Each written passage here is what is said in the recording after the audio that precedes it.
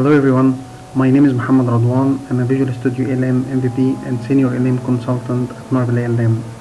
This video is part of the series of upgrading TFS 2010 to TFS 2012 with migration to a new hardware. This video will cover part 2, preparing SharePoint for the new system.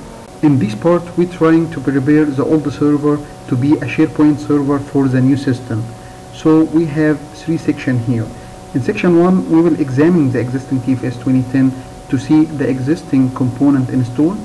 Section 2, we will uninstall the TFS 2010 all components. Section 3, we will install and configure remote SharePoint extension to be ready for the TFS 2012. The first machine is a Windows Server 2008 R2 with Active Directory and DNS. Active Directory has all TFS service accounts needed. The second machine is a TFS 2010 a Windows Server 2008 R2 and TFS install. Let's open the administration console. We have here SharePoint 2010 configure, reporting service, uh, building server as well configured and working properly. We also have SQL Server 2008 R2 Enterprise Edition with analysis service and reporting service as well. Okay, let's close this. I will open uh, the control panel to start uninstall the TFS 2010. Let's go to the uninstall. Write team. There is three component Team Explorer, Team Foundation Server and Object Model. I will start by uninstall the Team Explorer. Okay, right click and uninstall. Remove yes. Okay. Next, uninstall. Now the uninstallation complete successfully. Let's uninstall the TFS. Okay, uninstall. Successful remove the object model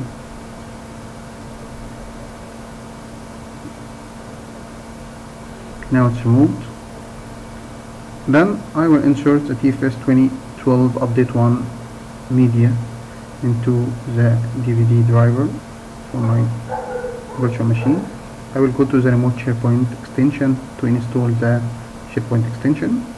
Okay need to restart the machine. The machine will restart.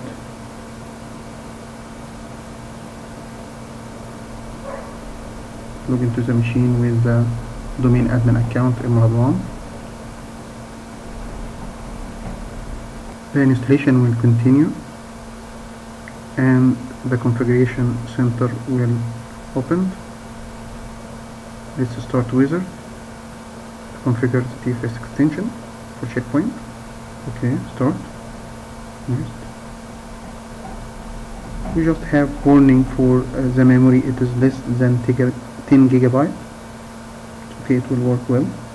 Configure.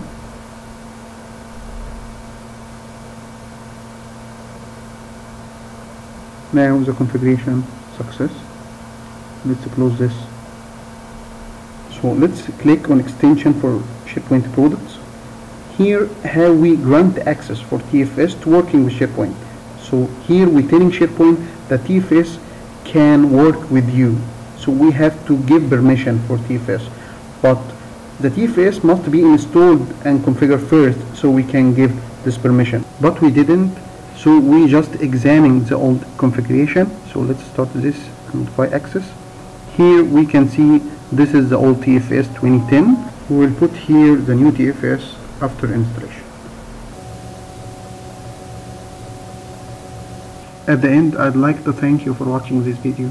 I would be more than happy for answering any inquiry about the content. Thank you